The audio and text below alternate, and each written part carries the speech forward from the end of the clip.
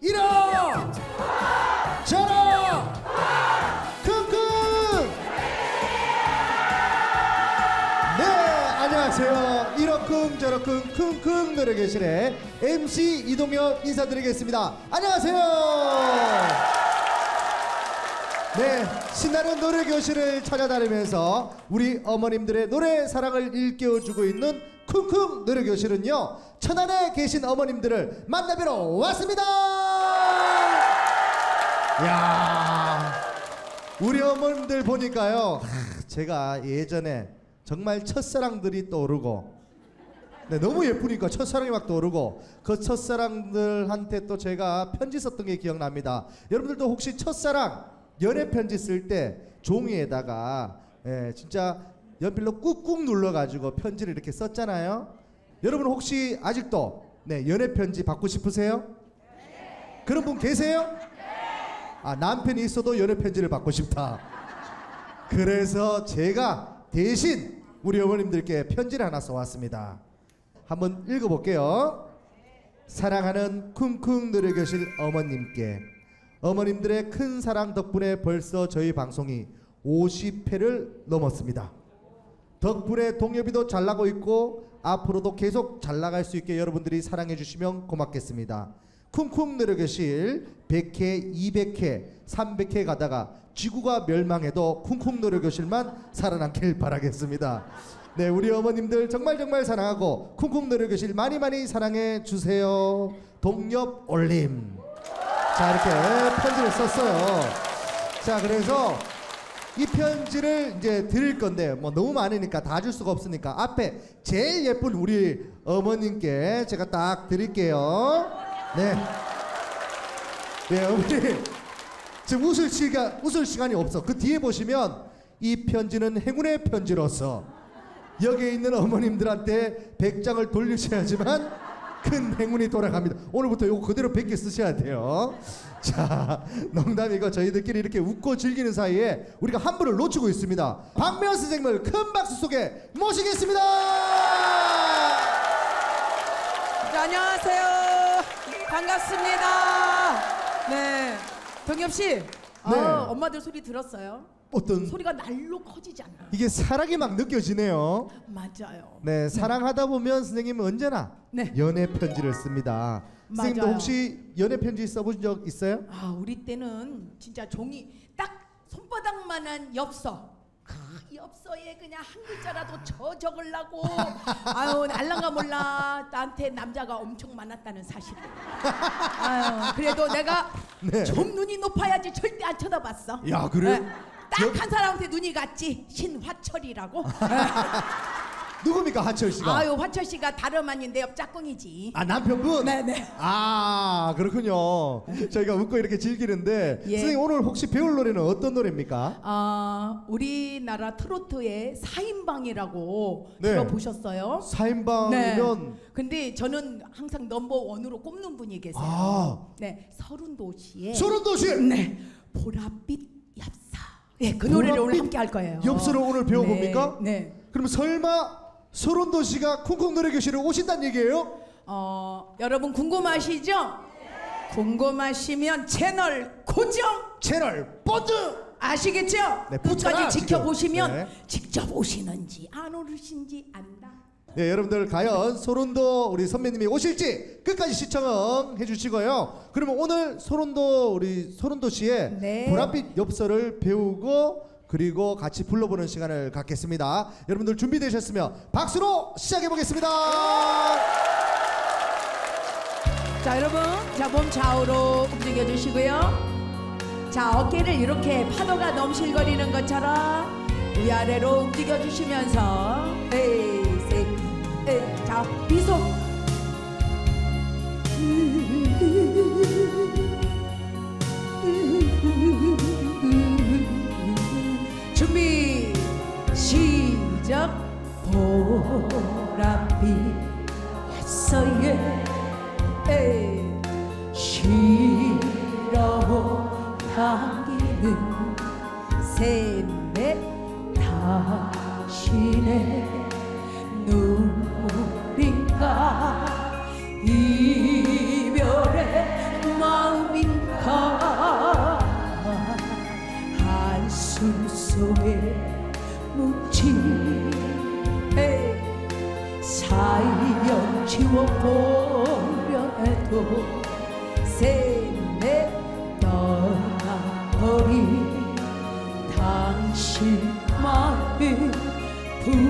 잡을 수 없네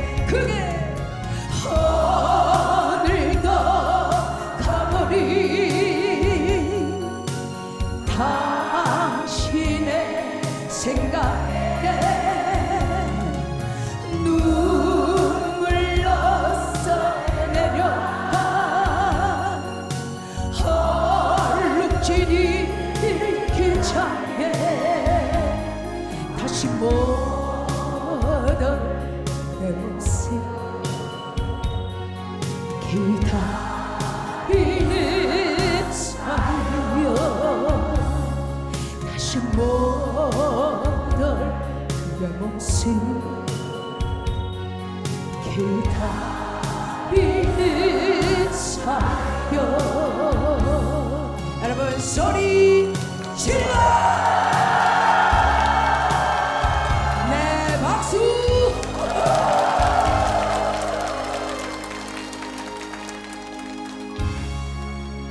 자, 이 노래를 부르는데 자, 첫째. 이 노래의 리듬은 slow rock이에요. 천천히 노래는 부르지만 강박이 확실히 있다는 거예요. 보랍 끌어주고 엽서에 후딱 지나가야 돼. 시작. 보라 에 끌어주고 엽서에 잘했어요. 시 끌어주고 향기는 흔들어 흔들어 흔들어 당신의 눈물인가? 자 봐봐. 눈물 아랫배 힘을 딱 멈춰줘야 인가 하고 점프하기가 쉽죠 아시겠죠? 전 단계부터 아랫배 힘을 줘야 돼요. 당신의 당자도 마찬가지야. 당배 주고 신의 눈물인가? 이별의 마음인가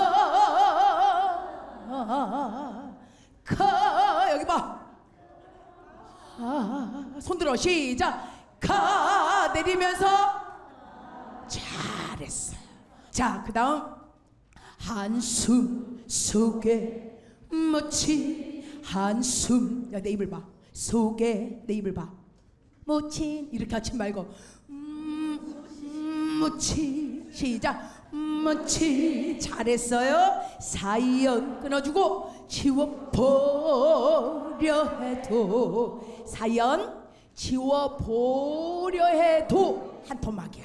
사연 한번 끊어주고 지워보려 해도. 여기까지 길게 한 토막으로. 와. 자 시작. 사연 지워보려 해도. 아이고 잘했어요. 떠나 버리 떠나버린 할 때도 그냥 입으로만 가지 말고 가슴을 울려주듯이 떠나버리 시작. 떠나버린 해 당신 마음. 자 마음이 뛰어가요. 우리가 소리가 올라가죠? 자 올라가기 전 단계에 뭘 해야 뻥충 뛰어오를 수 있어? 아랫배 힘줘야죠. 당신 마음. 시작. 힘주고 옳지 붙잡을 소자 공기. 옳지 오늘도 소리가 커졌어요? 아버리 읊조려야 돼. 앞과 뒤를 대조적으로 준비 시작.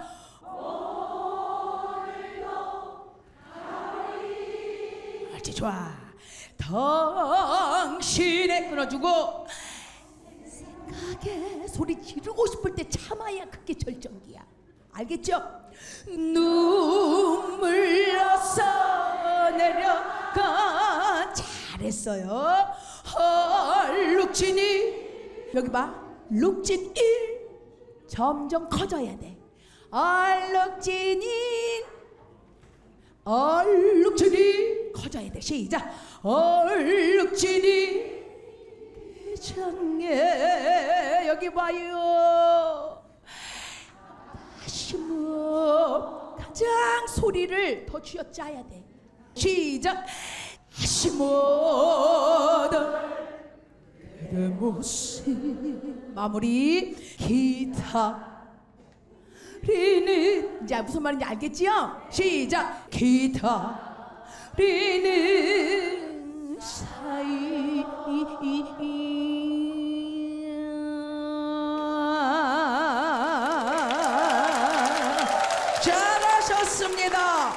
여러분 오늘 보랏빛 엽서를 부른 우리 가수가 이름이 뭐라고요? 예, 대한민국 독보적인 존재입니다. 1인방입니다. 아시겠죠? 자, 선운도 씨 오셨습니다. 박수!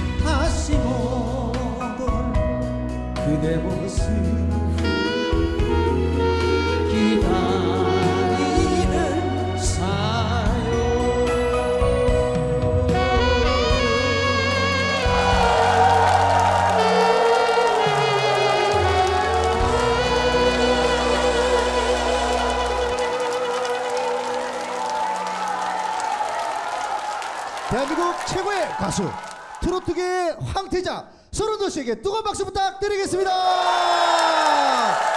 소리 질러! 네, 아, 우리 서른도 씨도 어머님들께 인사 말씀 한번 부탁드릴게요. 억수로 반갑습니다. 저는 그냥 외람된 질문일지 모르겠지만 소름도 씨 이게 저 볼 한 번만 꼬집어 주면 안 돼요? 한 번 살짝 꼬집. 아! 아이 꿈이 아니다 꿈이 아니야. 진짜 요이 아픈 거 보니까 이게 꿈이 아니고 현실입니다. 오늘 저희가 우리 쿵쿵 노래교실에 초대형 가수 우리 소른도 씨 모시고 이런저런 얘기 나눠볼 건데요. 소른도 씨 하면 제일 빼놓을 수 없는 노래가 있습니다. 여러분들 아실지 모르겠지만 저는 소른도 우리 선생님을 탄생시킨 데뷔곡이죠. 잃어버린 30년. 아, 와. 이 노래가요 당시 이산가족 찾기 프로그램이었죠. 네. 네, 그게 나왔는데 설운도 씨가 철저하게 부르면서 히트를 시켰어요. 심지어 이 노래는요 기네스북에도 등재가 돼 있다고 합니다. 잃어버린 30년 어떻게 히트가 된 겁니까? 히트가 어떻게 됐냐고요? 네, 그 비가 오나 눈이 오나 바람이 부나 이렇게 됐어요. 네. 아, 그 노래로. 근데 제가 듣기로 최단기간이다. 선생님 녹음하자마자 바로 이렇게 다음 날 노, 노래를 불렀다고 하는데 아, 이 맞습니까? 노래는 요즘은 기기가 좋았지만 그때는 네. 이 딱 마이크가 두 개 있어요. 하나는 반주, 하나는 노래. 그러니까 처음부터 다시 계속 불러야 되는데 여섯 시간을 부르는데 안 되는 거예요. 아, 한 번 녹음하는데. 네네. 아, 그래서 이제 그 마지막 한 번 더 부르 겠다고 한 해서 탄생된 노래가 그 노래입니다. 그래서 그걸 들고 KBS를 갔죠. 가서 이제 그 당시는 주조실에 사장님도 계셨고 네. 그때는 각 프로듀서 선생들이 돌아가면서 음. 워낙 장시간을 했으니까 이제 그날 당직을 하셨는데 당직한 선생이 이걸 보고 어. 사장님한테 가져갔어요. 바로 어. 그 이사- 그러니까 기네스북이지. 어, 속전 그러니까 속결이야. 이상가족 노래가 네. 나왔는데 한번 들어보시라고 그래서 딱 네. 들어보니까 이 사장님이 이 노래를 틀어라. 바로다. 그게 거짓말 아니고 그날 밤에 그날 저녁에 갖다 주는데 그 다음날 새벽에 히트가 됐어요. 그러니까 와. 그래서 기네스가 오르게 됐어요. 기네스북에 네. 오르게 됐습니다. 아. 이야, 근데 저 궁금한 게 하나 있어요. 어. 설운도 씨가 본명이에요? 아닙니다.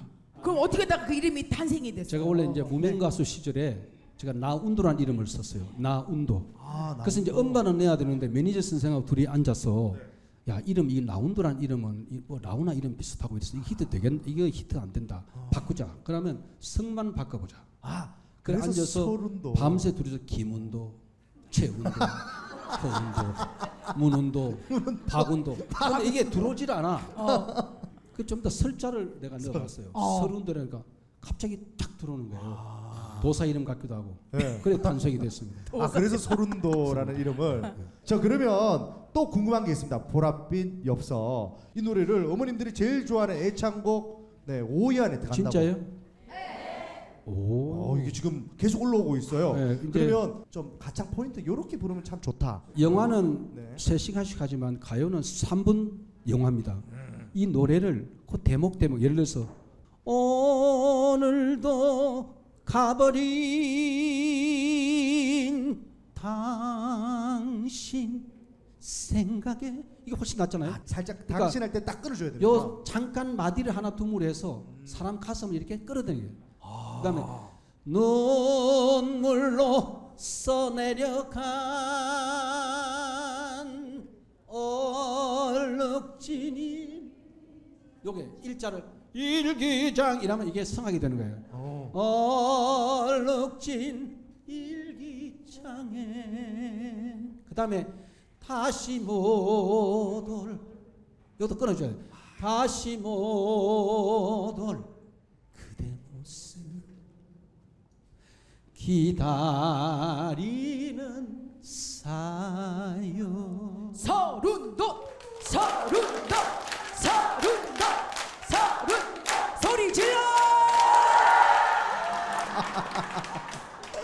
자 한번 해보죠. 자 한번 해보겠습니다. 그 부분. 자 오늘도 시작! 오늘도 가버린 당신의 숨쉬고 생각에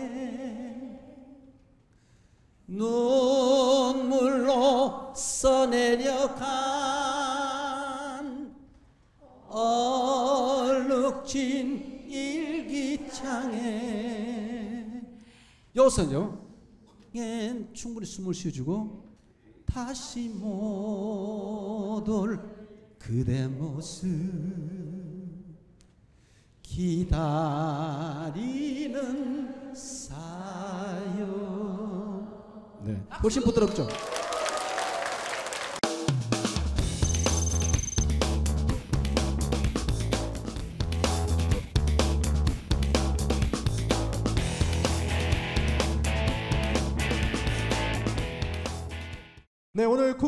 쿵쿵 노래교실은요 보랏빛 엽서의 주인공이죠. 소론도 씨를 모시고 함께하고 있습니다. 이번 시간은요 어머님들과 즐거운 토크를 나누는 시간이죠. 일명 쿵쿵 토크 시간입니다. 네 오늘 설문 주제는요 나는 연애 편지를 많이 받아봤다 아니면 보내봤다 받은 분들과 보낸 분들 예, 두 분을 이렇게 나눠서 저희가 설문조사를 해봤는데요. 서른도 씨는 어떻게 많이 받아 보셨을 것 같은데 예, 어때요? 저는 저 때문에 많은 그 당시 여자 친구들이 사오고 찢고 뽑고. 자 그러면 이제 결과를 공개 한번 해보겠습니다. 과연 많이 연애 편지를 받은 분이 많을지 아니면 쓰신 분이 많을지 결과를 공개하겠습니다. 와 거의 막상 막 할 것 같은데 네 그러면 많이 받아봤다 하시는 분부터 한번 만나보겠습니다. 나 많이 받아봤다 어디 있습니까? 손 한번 들어볼까요? 아 와 한번 일어나 보세요. 네, 손 딱 들고 있는 파란 두건을 쓰고 계신 네, 우리 예쁜 어머님. 천안에서 온 주민옥입니다. 네, 박수 한번 주시고 여러분들. 반갑습니다. 네. 아니 연애 편지 많이 받아 보셨어요? 이 편집 되는 거죠? 네, 편지 보고 저희가 알아서 할게요. 네. 조금요. 누구한테 그렇게 많이 받으셨어요? 학창 시절 때? 아니면 사랑하는 남편한테? 아 남편 아니고요. 아, 그래서 군인한테 군인한테. 아, 군인한테. 그분하고 내용은 어떤 거 했어요? 뭐 사귀는 것도 아닌데 무슨 내용을 씁니까 그냥 그러면? 그냥 그때만 해도 네. 뭐 서시 같은 거 이런 거 시 써보내고 별로 어린 나이잖아요. 20대 초반이면. 아 그래요? 그럼 남편분은 편지를 한 번도 안 써주셨어요? 군대 펜팔 할 때 중매로 딴 남편을 만났어요. 첫 선을 봤어요. 아 그러니까 중매를 보고 있으면서 딴 남자랑 펜팔하고 있었다고요? 아, 펜팔은 어린 마음에 한 거고. 어. 근데 어머니가 선을 보라고 했어요. 네. 그래 선 보고 네. 결혼하셨구나. 네. 네. 아 그러면 뭐 지금 남편분한테 뭐 뭐 편지 한 번도 안 썼다고 하니까 여기서 영상 편지 한 번 쓰는 거로 마무리해 볼까요? 네. 여기 카메라 보고 우리 남편분한테 네. 남편 신문철 씨 너무너무 사랑해. 제가 많이 아팠는데 1년 동안 정말 새벽에 5시에 일어나 가지고 밥 해주고 저녁에 일찍 돌아 가지고 밥 해주고 너무 고생했어요. 그래 가지고 제가 이제 8년 지났거든요. 이제 많이 좋아진지. 예. 아, 그래서 너무너무 감사해요. 첫선 봐가지고 둘 다 첫선 봐서 만났어요. 야, 여러분 박수 한번 주세요. 고맙습니다. 자 그러면 네, 다음으로 내가 많이 보내봤다 하는 분 있으면 손 한번 들어볼까요? 네. 자기소개 한번 부탁드리겠습니다. 구리에서 온 김현숙입니다. 연애 편지 많이 보내 뭐 많이 보내봤어요? 많이 받아봤어요. 받았다. 네, 그럼 아까 받았다 할 때 손을 들었어야지.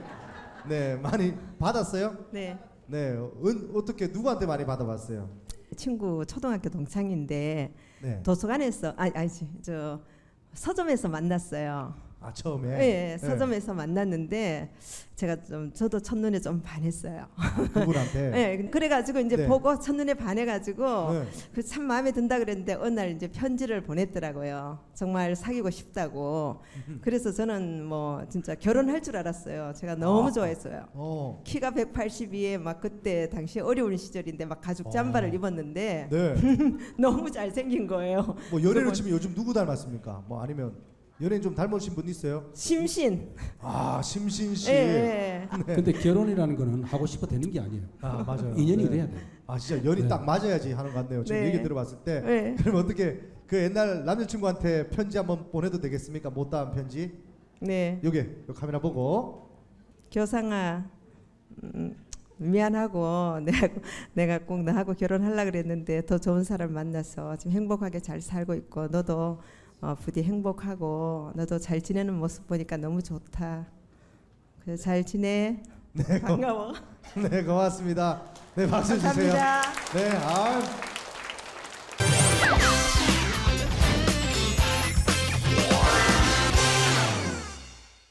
네, 아쉽지만 이제 우리 소론도 씨는 보내드려야 될 것 같습니다. 오늘 어떠셨어요? 행복했어요. 아, 행복했습니까? 오늘 저희가 너무 중간에서 까불어가지고. 아니, 아니요. 네. 어, 어차피 또 그동안 계속 여러분 노래만 배우시다가 음. 1년 됐잖아요. 그렇죠. 오늘 1년 또 이렇게 됐죠. 즐겁고 기쁜 날도 있어야죠. 네. 그죠? 감사합니다. 오늘 정말 네. 함께 해 주셔서 영광이고요. 네. 앞으로도 여러분들 우리 저 박미연 교수님 많이 사랑해 주시고 영원히 여러분들 또이 노래와 함께 행복하기를 바랍니다. 네. 그리고 우리 또 시청자분들이 네. 소름돋이 보고 너무 좋아할 것 같거든요. 네, 네. 네, 한 말씀 부탁드리겠습니다. 어, 좀 아쉬운 것은 여러분 노래 듣다시피 이렇게 우리 대중가에는 우리에게 기쁨과 행복과 어, 어떻게 보면 참 사랑을 주는데 너무 이렇게 노래할 수 있는 무대가 너무 적다는 것이 좀 아쉽습니다. 그래서 여러분들 혹시 방송국에 엽서 좀 많이 보내셔서 트로트 프로 좀 많이 만들어 달라고 꼭 좀 부탁해 주시면 네. 고맙겠습니다. 아, 지당하신 말씀입니다. 네, 저도 또 따라가는 후배 트로트 가수로서 좀 많이 많이 좀 사연 보내주시고 그리고 끝으로 저희가 끝나기 전에 소론도 씨가 또 신곡을 또 내셨더라고요. 네네. 어떤 곡입니까? 아, 이 노래는 굉장히 그 어, 정말 사랑이 어떤 건가를 이 노래를 들으면 알아요. 아, 사랑은 말로 하는 것이 아니고 어. 얼마나 가슴 절절히 예, 다가오는가를 이 노래 들으면 아실 거예요. 그럼 제목이 어떻게 되는 거죠? 사랑이 이런 건가요? 사랑이 이런 건가요? 예, 그러면 끝으로 청해 들으면서 저희는 물러가도록 하겠습니다. 다음 시간에 더 알찬 내용으로 만나 뵙겠습니다. 네. 세상의 모든 어머님들이 가수왕이 되는 그날까지 열심히 달려가겠습니다. 이런 저런